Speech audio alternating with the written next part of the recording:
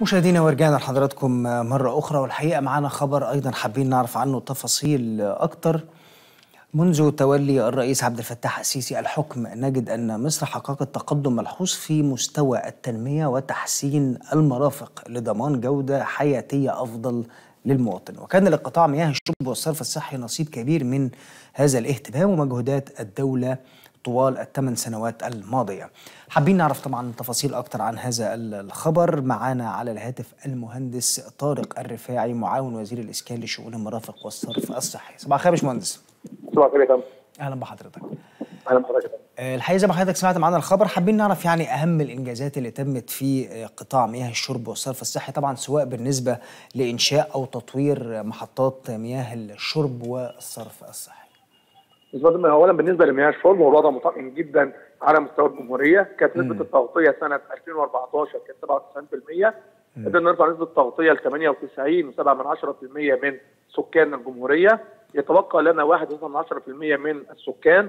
دول حضرتك كانوا جزء منهم خارج الحيز العمراني ودخل الحيز العمراني بنعمل له مد وتدعيم النهارده ضمن مبادرة حياة كريمة.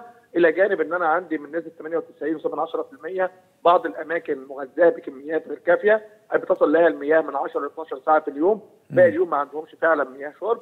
المبادرة حضرتك النهارده بتنفذ محطات مياه جديدة لتدعيم الخدمة داخل هذه المناطق. إحنا عندنا بس في المرحلة الأولى من مبادرة حياة كريمة. عندنا حوالي 690 مشروع مد وتدعيم لشبكات مياه الشرب داخل ال- داخل ال 25 مركز التابعين لوزارة الاسكان خلصنا منهم 300 مشروع وباقي ت- حتى بنهاية العام الج- الجاري 2022 سيتم نهوهم.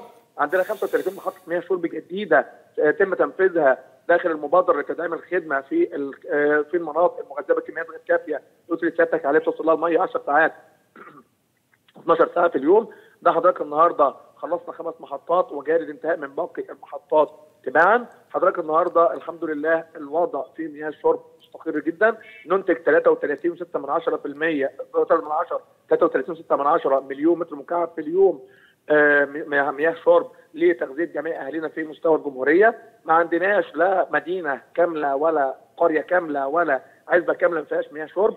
كل اللي عنده مشاكل في مياه الشرب في اطراف شبكات المدن أو اطراف شبكات القرى أو اطراف شبكات النجوع زي ما قلت لسيادتك انها كانت خارج الحيز العمراني وبعدين دخلت الحيز العمراني فبنعمل لها مد وتدعيم قطاع الصرف الصحي فندم كان له نصيب كبير جدا في الإنجازات اللي تمت من 2014 إلى اليوم. حضرتك لو جينا نضرب بس رقمين بسيطين كده حضرتك كنا بنسبه تغطية في المدن في 2014 كان عندنا 79% من سكان المدن اللي عنده صرف صحي. أنا مش بتكلم سيادتك على قرى أو نجوع أو عزب أنا بكلمك على مدن.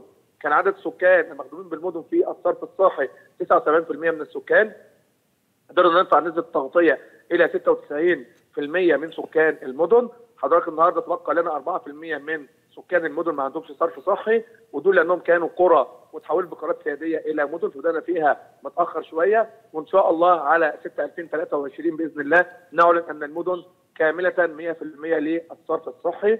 قطاع الصرف الصحي الريف والذي أهمل لعقود طويلة جدا كان له نصيب كبير جدا في الإنجازات اللي تمت من 2014 إلى 2022 حضرتك النهارده كان نسبة التغطية في القرى في 2014 12% من سكان القرى فقط. على الرغم من سكان القرى 58% من سكان الجمهورية. يعني أكثر من نصف السكان يعيشون داخل القرى ولكن الريف المصري أهمل لعقود طويلة جدا. كان نسبة التغطية 12% في 2014 قدرنا نرفع نسبة التغطيه إلى 40% في نهاية 2021 ويتبقى لنا 60% جاري خدمتهم ضمن مبادرة حياة كريمة بإذن الله. يعني هو زي ما حضرتك أوضحت فعلا وأنا كان فعلا معايا يعني سؤال مبادرة حياة كريمة طبعا اهتمت بالقرى والنجوع وكانت محرومة طبعا من خدمات مياه الشرب والصرف الصحي وطبعا تم لصالح هذه القرى والنجوع حيث يصل عددها تقريبا 4700 قرية وما يقرب من 27000 نجع وتوابع. هل إن شاء الله كده في في يعني ال- ال- الفترة القادمة يعني هيزداد العدد إن شاء الله؟ طبعا يا فندم إحنا حضرتك بقول لسيادتك إحنا النهارده عندنا 1500 قرية تقريبا في المبادرة في المرحلة الأولى بعد 52 مركز حوالي 720 قرية تبع وزارة الإسكان والباقي تبع هيئة القوات المسلحة. إن شاء الله بنهاية المرحلة الأولى سيتم رفع نسبه التغطيه من 40% إلى عدد السكان المستهدف بعد نهو المبادرة بإذن الله. وفي المرحلة الثانية من المبادرة والثالثة إن شاء الله بعدها نكون قدرنا نوصل إلى 100% من خدمات الصرف الصحي. يتبقى لنا يتبقى لنا بعد اول مبادره هي الأماكن حضرتك التي ليس لها احوزه عمرانية أو التي تقع داخل الكتل السكنية الموجودة في الحيز العمراني. هي دي حضرتك هيبقى في لها دراسه بعد كده. كيفية خدمه بإذن الله. بعد اول مبادره يا رب على خير إن شاء الله. ويعني نرى آه، هذا التقدم في الأكثر والأكثر فترة مقبلة يا رب إن شاء الله. إن شاء الله أنا بشكر وقت حضرتك وبشكرك على المعلومات اللي حضرتك قلتها لنا. المهندس طارق الرفاعي معاون وزير الإسكان لشؤون المرافق والصرف الصحي بشكر حضرتك شكرا جزيلا.